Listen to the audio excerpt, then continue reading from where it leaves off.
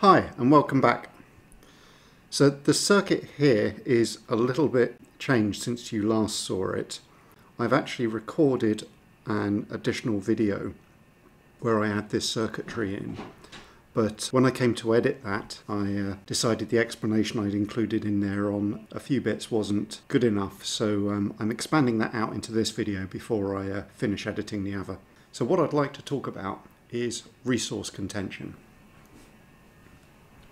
Okay, so here's our clock and here's our pipeline stages. So if we imagine we've dispatched an instruction into the pipeline. So in the first it's fetched, then it progresses through each of the subsequent pipeline stages.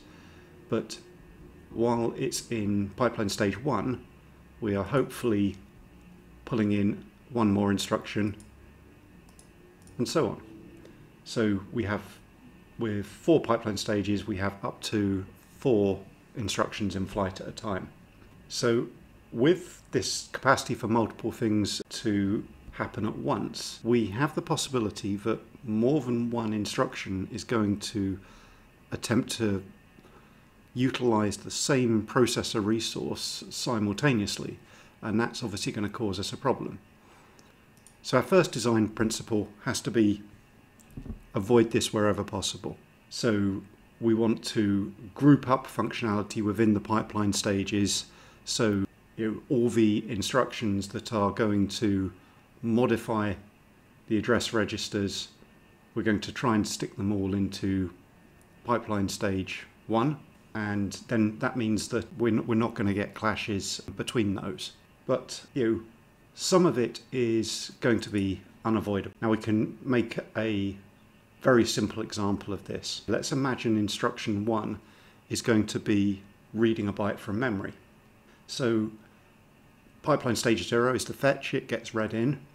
Then we have pipeline stage one, which it's possible that won't actually do anything for the instruction, but it's also possible it might be doing some address computation. And then in pipeline stage two, it's actually going to perform the memory read. That's going to require an access to the bus and up here instruction 3 we're attempting to read that in simultaneously. So we've got a clash here. So we've uh, we've got to work out what to do about that. And the way we deal with that is you know we've got no choice. We don't know in advance what's what's going to be read in from the instruction. So it's not like we can just ignore it. We're going to have to get rid of the instruction somehow. And we do that by building circuitry that is going to emit a NOP instruction in the fetch unit if for some reason it can't access memory.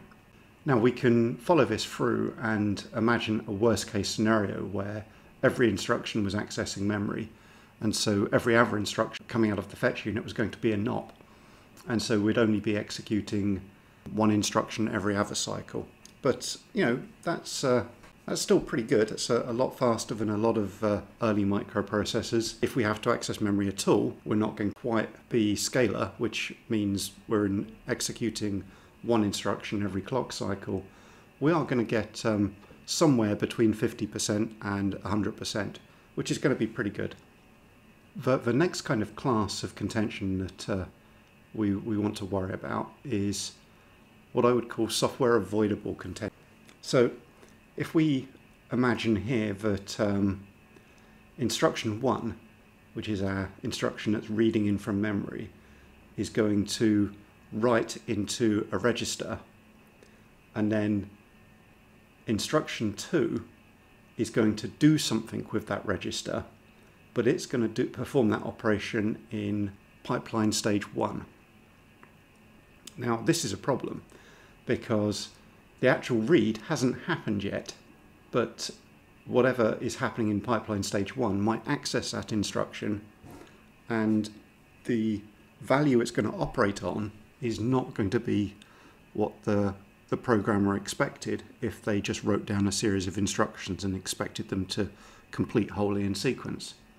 So that's um, that's an interesting problem. But the actual reality is I don't think we need to design any hardware for, for handling this.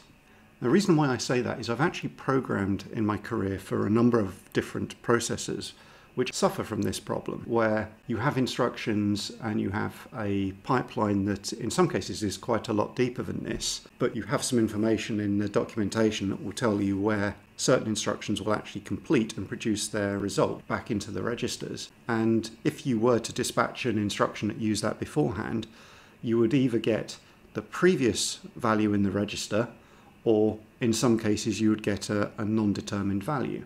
And in actual fact, for um, uh, some of the games consoles I've worked on, the, the, the fact that we have this information and we know that, say, perhaps um, access to a register one cycle later is going to still see the old value is something that I've actually written code that takes advantage of. Often, when you're writing low level code that's designed to be particularly high performance, you run into a problem where it feels like you don't have enough registers. And it's possible to write code when you're aware of these issues that you couldn't fit into as many registers as you've got. So I particularly remember a piece of code I wrote for the original Ghost Rider video game. I can't mention the console I was I was programming for for intellectual property reasons, but there was a, a, piece of the, the graphics code there which I managed to get quite an interesting speed up via exploiting this kind of mechanic. So this is some of the weird side effects that you can get from uh, software avoidable issues if you understand them. And the reality is, if we can avoid it, we should avoid it. So if I'm aware that a result's not ready yet, I should perhaps do something different. Now, if you look at modern CPUs like uh, you know anything in the x86 series, they don't suffer from this problem. They've got uh, fairly complicated hardware that is looking out for the, the states of, of registers and, and the various flags to make sure that instructions all appear to complete in sequence and operate on the correct data. But of course, if we were to do this, we would we would be adding some circuitries, say between pipeline stage zero and one, as an extra stage, which would look at an instruction, see if there are any contention issues, and then hold that instruction back so the operation's completed in sequence. And if you try and start building that circuitry, it's going to it's going to add an awful lot of complexity to the, the, the processor I'm trying to build here.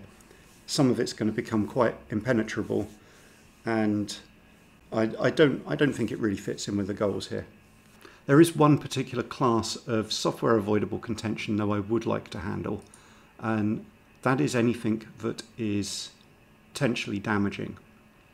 Now, the reason why something might be damaging is we have looked before at how if two chips were to derive a value onto the same bus simultaneously, we would have a a theoretical short between the, uh, the, the power rail and ground um, if any of the bits in they were tr- trying to assert onto the bus were different. And this would be very bad. We could uh, we could actually damage the chips. So any cases where that might happen, we should avoid those. So one of the places where I definitely think um, we're going to have to worry about that is if pipeline stage two is dealing with writing 8-bit quantities such as a, from a memory read or the completion of an ALU operation. And pipeline stage one, where one of the things we're doing is performing operations on the 16 bit registers, then we've got the case where the transfer register can pretend to be two 8 bit registers and be a 16 bit register. So you could potentially have one half of it being written to in pipeline stage 2 and the rest of it being written to in pipeline stage 1. Now, the only thing we can do there, if we're not going to introduce very complex circuitry, is make it so one is going to take precedence over the other, and we're going to have a programming bug there. But we can definitely build circuitry that will stop it uh, having damaging side effects. Okay, so av- avoiding problems as much as we can, writing code that doesn't cause problems, and in some cases can take advantage of them, is uh, is is going to be good. And using the software sequencing where we uh, we have a, a, list of operations that we we shouldn't do is it's going to be uh, an extra layer of complexity when we come to start writing code for this but I'm I, am i am fairly comfortable we're still going to be able to write some some good code without uh, compromising our performance too much. But we will be avoiding the potentially damaging cir- circumstances.